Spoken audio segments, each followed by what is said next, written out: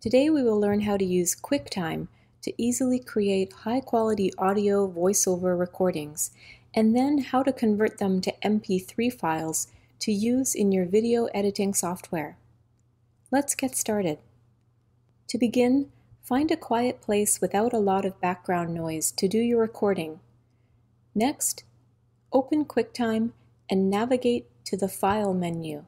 From here, we will choose New Audio Recording. The audio recording window will pop up. Click on the arrow to the right of the red recording button. This will bring up our microphone options. It's highly recommended to use an external microphone, such as a USB microphone, for voiceover recordings. If you don't have one, don't worry you can just use the internal microphone on your computer.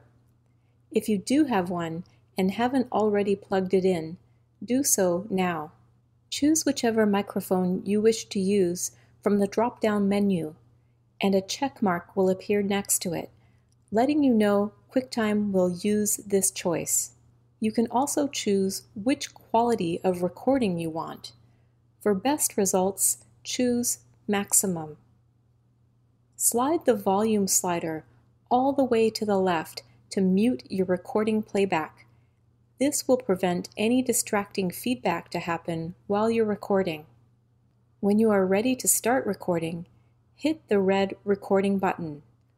QuickTime will begin to record and will show you a time count.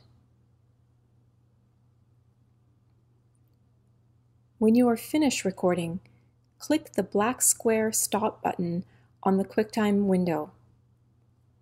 This will change the QuickTime window to show your recording. You can click play to listen to what you recorded. If you are happy with your recording, your next step is to save it. You can do this by either navigating to the File menu and choosing Save, which will bring up a menu where you can name your file and choose where to save it, for instance, on your desktop. Or you can simply click the red button at the top left, which will bring up a similar menu where you can name and save your file as desired. If you weren't happy with your recording and wish to do it over, you can also choose to delete the file here. QuickTime saves files as AIFF or Audio Interchange File Format, and we want to convert our file to MP3 so we can use it in our video editing software, such as iMovie. To do this, we will import our file into iTunes. We can do this by dragging and dropping it into the iTunes window from our desktop or by going to the File menu, choosing Add File to Library, and choosing our AIFF file from our desktop. Your file will show up in a folder called Unknown Album.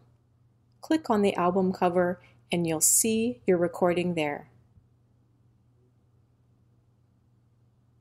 Click on it to highlight it, then go to the File menu, scroll down to Convert, then choose MP3 version.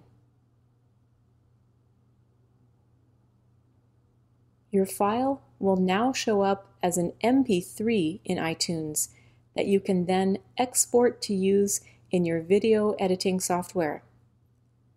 Export it by dragging it to your desktop or directly into your iMovie project media, or by clicking on the dots next to the song, choosing Copy, and then right-clicking on your desktop and choosing Paste. From here, you can add your MP3 file to any video editing software. So there you have it you now know how to create an MP3 audio recording for your YouTube videos using QuickTime.